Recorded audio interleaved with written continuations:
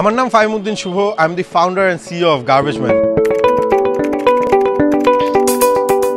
Garbageman is working on app যে অ্যাপটার মাধ্যমে ইন্ডিভিজুয়াল রেস্টুরেন্ট হাউসহোল্ড হোটেল অর্গানাইজেশনের যে প্লাস্টিক ওয়েস্টগুলো হয়, এগুলোকে আমরা, আমাদের যে ইনফর্মাল সেক্টর আছে, এই ইনফর্মাল সেক্টরের মাধ্যমে আমরা রিসাইকেল করব।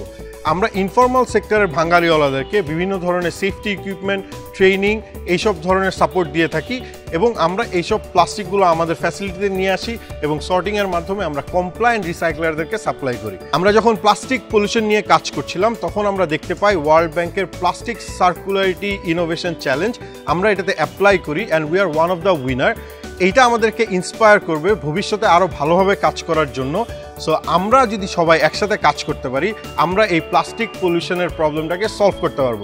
So bit plastic pollution